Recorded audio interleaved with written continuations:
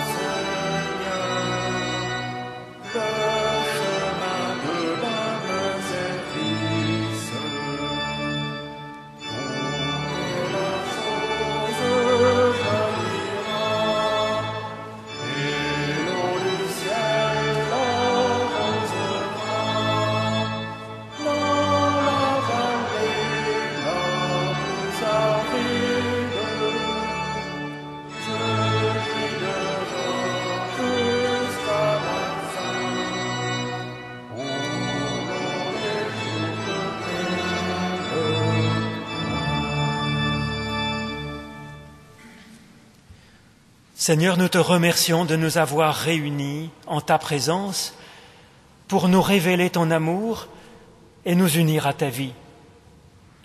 Fais taire en nous toute voix contraire à la tienne et permets que nous sachions recevoir ta parole, non seulement l'entendre, mais aussi vraiment la recevoir, non seulement la connaître, mais aussi l'aimer, non seulement l'apprécier, mais la mettre aussi en pratique.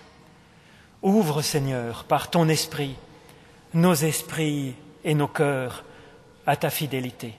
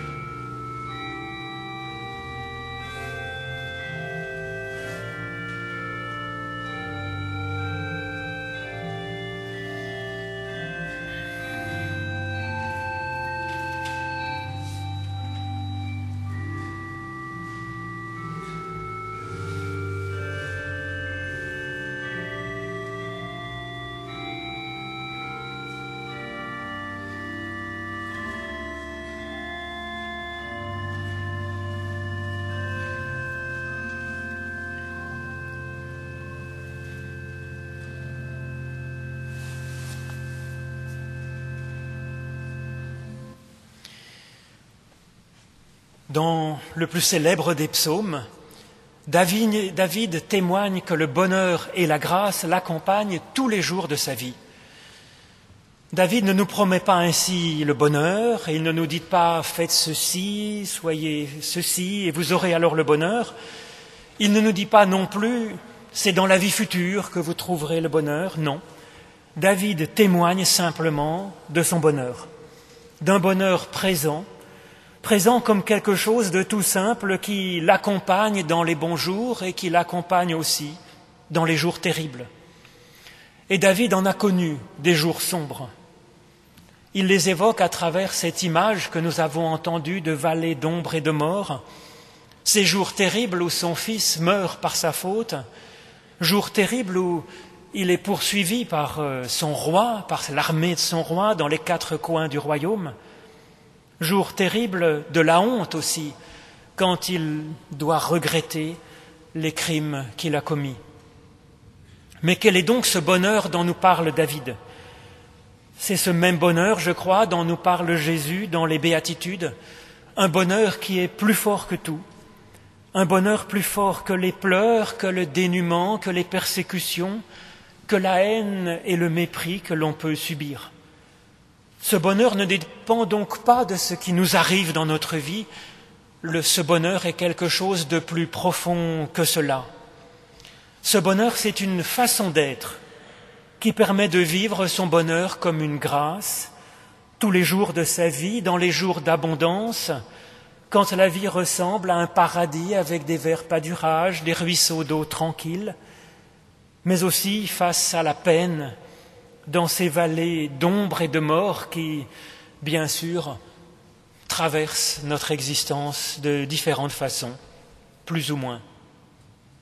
Alors bien entendu, il n'est pas question alors de bonheur total à 100%, mais d'un bonheur qui existe quand même réellement, comme quelque chose d'un peu mystérieux peut-être, mais qui est là, dans la profondeur de notre être, parfois tout contre nous, parfois un peu plus enfoui, comme caché, mais qui est quand même là, réellement, chaque jour, nous dit David.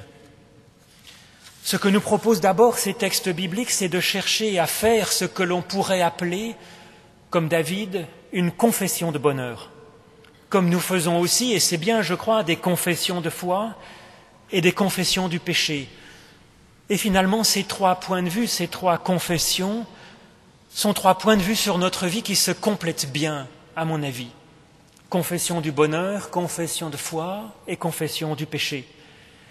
Et dans cette démarche qui cherche à faire une confession de bonheur, il y a, je crois, une démarche fort utile. Chaque soir, chaque dimanche, ou au rythme que l'on veut finalement, mais régulièrement, il est bon de chercher à faire une amorce de confession de bonheur. Comme le corps et l'intelligence peuvent être musclés avec des exercices réguliers, la capacité à recueillir notre bonheur et à en vivre, à le savourer, cela se travaille. Et je crois que c'est la première chose, à mon avis, pour apprendre à être heureux, c'est de chercher à entrer dans cette démarche. Alors pour nous aider, nous pouvons essayer de faire cela dans la prière. Dieu est capable d'ouvrir nos yeux sur, euh, sur le bonheur et la grâce qui nous accompagnent effectivement, alors que nous ne le savions parfois pas, ou que nous le découvrons seulement après coup. Et souvent, prenant conscience de cette part de bonheur et de grâce qui nous accompagne, nous reconnaissons que ce bonheur, oui, est comme un cadeau. C'est une grâce, un don incroyable.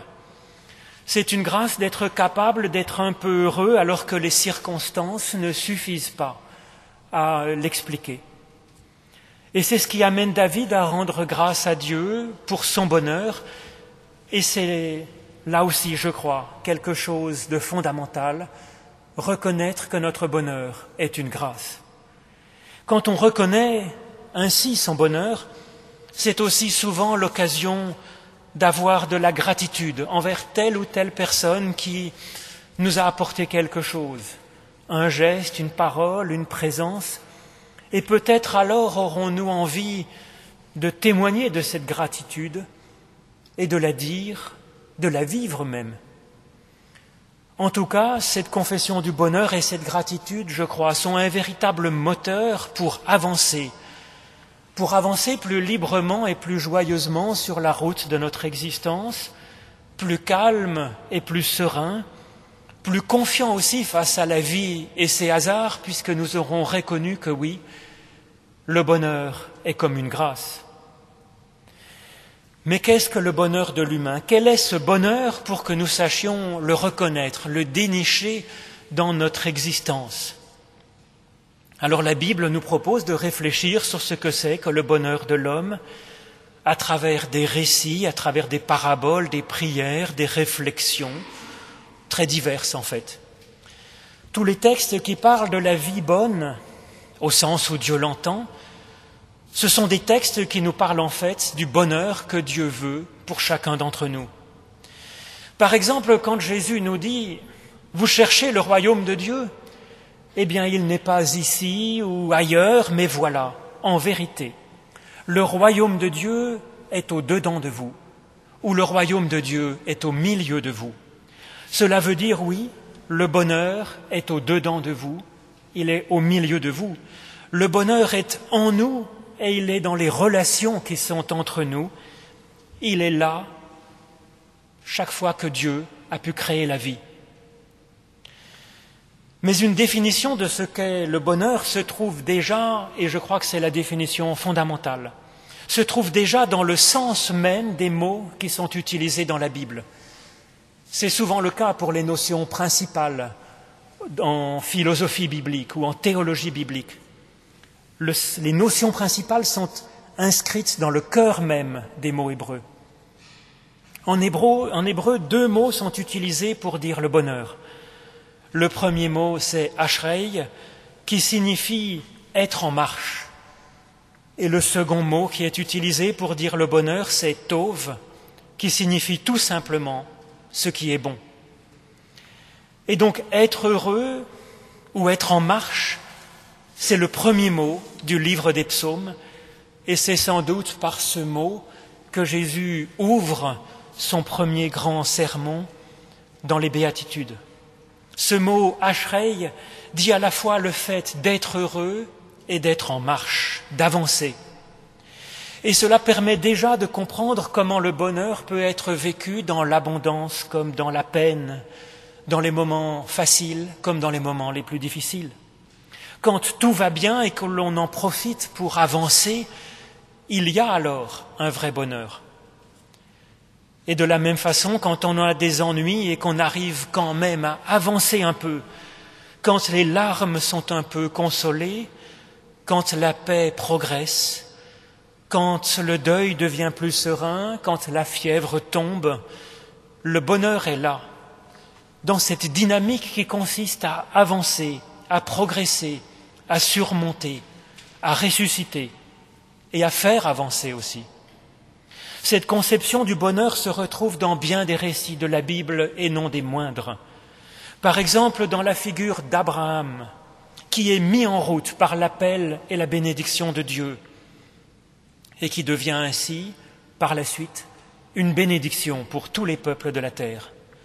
Nous retrouvons cette conception de la vie humaine et du bonheur quand l'Évangile appelle le Christ le chemin, la vérité et la vie. Oui, la vie véritable, la vie heureuse est ce cheminement qu'est le Christ, cette mise en mouvement par l'amour et pour l'amour. David reconnaît en Dieu la source du mouvement, une force qui l'aide à avancer dans les jours d'abondance, et ce n'est pas le moindre des miracles. Car une fois arrivé dans un vert pâturage quelconque, nous avons plutôt tendance à vouloir nous arrêter là, à camper, à stagner sur cet instant d'abondance. Et pourtant, pourtant le bonheur, c'est alors encore d'avancer. Et David rend grâce à Dieu aussi de l'aider à avancer dans les vallées d'ombre et de mort. Oui, Dieu est la source de la vie, du mouvement et de l'être, comme dit l'apôtre Paul. Il est source de bonheur et de grâce chaque jour pour chacun. Il y a du bonheur à avancer, comme le dit le mot Ashrei, mais ce n'est pas le seul mot pour désigner le bonheur, il y en a un autre, et c'est heureux, si je puis dire. Sinon, notre notion de bonheur risquerait de tourner à la course effrénée. Ce second mot pour dire le bonheur, c'est tout simplement tauve, ce qui est bon. Alors il y a du bonheur dans le fait d'avancer, c'est vrai, mais il existe un autre bonheur, c'est celui du repos. Alors pas au sens de la sieste, bien que un peu quand même, mais surtout au sens du sabbat biblique finalement. Ce jour où l'on s'arrête de produire, où l'on s'arrête même de se déplacer pour vivre et être heureux dans le repos. Dieu, nous dit la Genèse, a choisi de se reposer le septième jour après avoir créé pendant six jours mais dans un sens à la fin de chacun des six jours de création, de ces six journées consacrées à faire avancer les choses. Le récit de la Genèse nous dit que Dieu prend un temps pour regarder le monde et pour se réjouir de ce qui est bon. Il y a ainsi le bonheur d'avancer et il y a le bonheur d'être là, de s'arrêter pour voir ce qui existe de bon dans le monde, dans nos frères et sœurs et en nous-mêmes. Il n'y a pas que du bon à voir, évidemment, quand on considère la réalité, mais le bon existe. Et le propre de l'amour, de cet amour qu'est Dieu, c'est de se réjouir de cette bonne part. Dans le psaume 139, David a cette autre louange que je trouve utile à méditer. Je te célèbre, Éternel, pour la merveille que je suis. Tes œuvres sont vraiment admirables, et mon âme le reconnaît bien. Oui, il y a un vrai bonheur à avancer, et il y a un vrai bonheur aussi dans le seul fait d'exister, de reconnaître qu'une qualité extraordinaire nous est donnée par grâce, indépendamment de tout. Oui, nous sommes un être fragile, imparfait, arrogant, pécheur, tout ce que l'on veut, mais nous sommes un être merveilleux, reconnu par Dieu, aimé par Dieu plus que tout la personne qui a le plus de chance dans sa vie, comme la personne la plus pauvre, la plus handicapée, la plus démunie, tous pourraient alors vivre ce bonheur-là, fondamental, de se réjouir de cette part de bon qui existe. Mais oui, certes, parfois, même pour cela, nous avons besoin de l'aide de Dieu pour reconnaître ce qui est bon et de découvrir qu'aux yeux de Dieu, chacun de nous est une merveille à sa façon et découvrir aussi toutes ces œuvres admirables qu'il y a à contempler autour de nous. Ce bonheur de la contemplation, c'est aussi, comme dans le psaume premier, un temps où l'on se laisse créer par Dieu, comme un arbre enraciné près d'un cours d'eau qui ne marche pas, bien sûr, mais qui peut grandir et produire des fruits en son temps. Et c'est aussi l'occasion de se laisser purifier par Dieu, comme nous le dit ce psaume, avec l'image du vent qui, qui fait s'envoler la paille pour garder le bon grain. Voilà donc le bonheur, selon la Bible, c'est d'avancer et de se réjouir du bien qui existe. Et si nous existons aujourd'hui, c'est bien que nous avons reçu cette double grâce, celle d'avancer et celle d'être une merveille que Dieu bénit. Et cela me rappelle ce que m'a dit une personne de la paroisse que je ne citerai pas pour ne pas la gêner, pourtant je l'ai vue ici ce matin. Chaque matin, m'a-t-elle dit, je remercie d'abord Dieu pour ce nouveau jour de résurrection qui m'est donné, puis je cherche comment faire dans ma journée au moins quelque chose d'utile ou quelque chose d'agréable. On retrouve ici à la base la louange à Dieu. Louange à Dieu pour la vie qui nous est donnée et pour ces deux faces du bonheur qui sont d'avancer, de faire quelque chose d'utile, et qui est aussi de se réjouir de ce cadeau qu'est la vie, mais aussi des petites et des grandes bénédictions qui nous sont données dans notre vie. Ce bonheur de faire avancer les choses et de nous réjouir de ce qui est bon, Jésus nous propose de le conjuguer au pluriel non seulement en le recevant pour soi-même, mais aussi en le donnant aux autres. Et il y a même, nous dit Jésus, plus de joie à donner qu'à recevoir. Et l'évangile selon Jean culmine sur cette idée-là, je crois. Dans ce discours où Jésus résume l'essentiel pour ses disciples, juste avant d'être arrêté, donc pas un moment particulièrement facile pour lui et pour les disciples, il évoque alors le bonheur et la joie à deux reprises. D'abord, après avoir euh, lavé les pieds de ses disciples, Jésus les invite à faire de même en se faisant serviteurs les uns des autres. Et il dit, Vous êtes heureux si vous savez cela et si vous le mettez en pratique. Et un peu plus loin, Jésus nous propose de vivre de ce bonheur vrai en prenant conscience de l'amour dont Dieu nous a aimés, en nous laissant construire, créer, mettre en mouvement par cet amour, alors oui, nous pourrons nous aimer les uns les autres, nous pourrons aimer et nous laisser aimer, nous pourrons servir et se laisser rendre service selon les occasions, dans la gratitude et dans l'émerveillement. Oui, il y a une vraie joie, un vrai bonheur à recevoir de Dieu le mouvement et l'être, de recevoir le bonheur et la vie. Il y a une grande joie ensuite, une joie qui complète la première, une joie peut-être encore plus grande, celle de donner et de servir à notre tour. Comme le Père m'a aimé, nous dit Jésus, je vous ai aussi aimé. Demeurez dans mon amour. Si vous gardez mes paroles, vous demeurerez dans mon amour, de même que j'ai gardé les paroles de mon Père et que je demeure dans son amour. Je vous ai dit ces choses afin que ma joie soit en vous et que votre joie soit complète. Amen.